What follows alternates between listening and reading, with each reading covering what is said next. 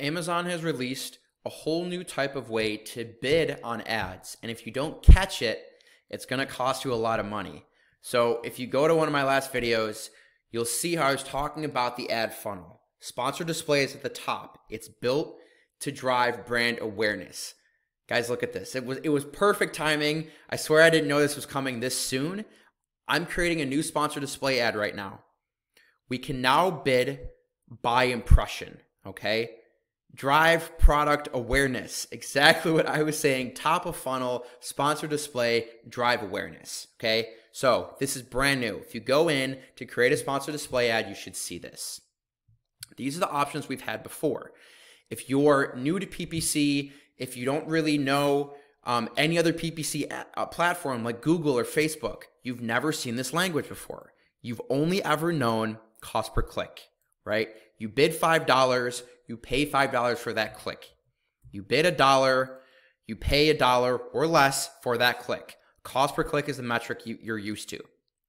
If I switch this to viewable impression, now I am paying a dollar for a thousand impressions. So just think about that really quick. Your and that's why this is this is built for awareness because no longer if you get a thousand impressions, you could get five clicks on that and you're paying for every single click. But those people seeing your ad might they might just be clicking just because they're very top of funnel, they don't know what they're buying. That could be a wasted click that you have to pay for. Now, for a thousand impressions, you're paying a dollar. And you need to look at this here. This is the new language, VCPM, viewable cost per million. Now, it's cost per million. It's just how they kind of break it down, okay? But CPC versus VCPM, okay? You need to think about this. If you're not seeing this metric change, CPC, VCPM, okay, you need to recognize that. So I'm going to hop into a campaign really quickly here because I've set some of these up and it, it'll, it'll probably wrap your head around it a little more. If I go to this, you can see I'm targeting five categories here. Okay, I started off very simple. I have spent 44 cents and I have no clicks yet. Okay, because I'm paying 55 cents per thousand impressions. Okay, you guys know it's never a perfect one to one ratio. And this one is the same thing. You'll say, hey, well, this one has a click and you're also paying for it. Right, because I'm not paying for that click. I'm paying for those impressions. I'm paying for top of funnel people going to Amazon, searching by category, searching by interests, right? They're not typing in a keyword here. This is in a, a, kitchen category. I'll say this is in like pots and pans. Someone's not typing in pots and pans and clicking on that. I don't want that person yet. Those are my sponsored product ads. I want to pay $3 for those clicks. This is catching someone at the very beginning of their shopping journey. So I want to get impressions. I want to get in their head basically, right? I want to get in their head and I want to say, "Hey, I want to I want to pay to be in front of this person. I don't care if they click on it yet. I really don't care if they click on it yet. Obviously, obviously it's better to drive click-through rate, right? But top of funnel driving impressions. So then maybe you catch the person in the category. So then all of a sudden they're they are going to a- Amazon and typing in pots and pans, and that's when my sponsored product ad kicks in, and I pay maybe three dollars for that cost per click. But I'm already in their head. They've already seen my product. They've already gotten an impression. They've already triggered. Right? So this is completely different to think about. And like for this one, these are brand new. You guys know with brand new ads, you never have to pay that much. I've gotten a thousand impressions. I'm bidding 55 cents. I have paid 16 cents for a thousand people to see my ad. Okay. It's, this is really, really valuable stuff. So 12,000, almost 13K impressions in total in like a day, $2. So also with the metrics here, you need to think that this is driving brand awareness. So what you're going to see is you, if you build these sponsor display brands out, you're not going to see an immediate sales from these because that's not what they're designed to do. They're designed to keep people coming back, get in their head, thinking about your ad, and they might trigger and click on a sponsored product ad in a week and then buy your product. So I want to go in back into the campaign builder here.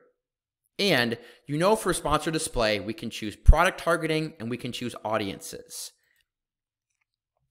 These really, since they're top of funnel, are going to be better with audiences. So I'm going to do audiences for viewable impressions. I'm going to pay a dollar for a thousand impressions, right?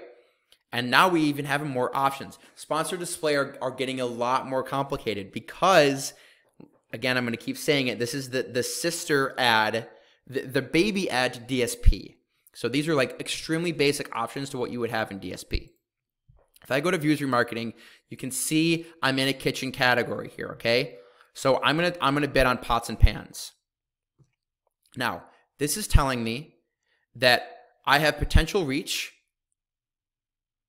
Okay? And you know what? I'm actually curious, and I don't know this off the top of my head. If this potential reach is daily, I think it would be daily. 30 days. This is telling me, okay, so I'm bidding to get impressions on people that are interested in pots and pans that have looked at them in the past 30 days. This is Amazon giving us back end access to their data, right? They're always tracking us. They know what we're looking for. They know our interests. They know what we're what we're interested in. So, I'm going to go after all of these and you can see the potential reach that you're getting. So pots and pans is somewhat of a broad category, right? It's not very specific. If I go a little more specific into skillets, I get way more potential reach. And that's what you're looking for here. Like you know when you when you add a sponsored product ad and you see a suggested bid and the suggested bid is crazy high, you're looking more for more potential reach here. So lower potential reach is you're not going to get a lot of impressions and these ads aren't going to do their job. So we have user remarketing, right? Audiences. Now, skillets. Okay? So, if you haven't messed around with this yet, I have made videos on the sponsored display. You need to understand that these are different. These are people searching in the skillet category. You can go to Amazon, you can type by, you know, go to home and kitchen, go to skillets, three to three, um, three and a half million people audiences, this are people that have shown interest in skillets, okay?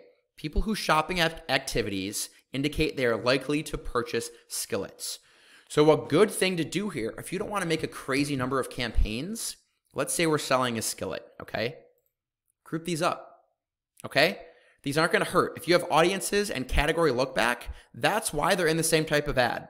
So, yes, it's going to be easier if you want to make one views remarketing, one Amazon audiences category or campaign, that's totally fine. But we're going by impressions here. So it's not going to hurt to really double down and see what these are going to do. Okay. Brand new. I really want you guys to look at this because as I come out with more DSP ads, I'm going to be talking so much more about bidding on viewable impressions. Set these up, set super low bids, and just start thinking about this paying for impressions, not paying for clicks.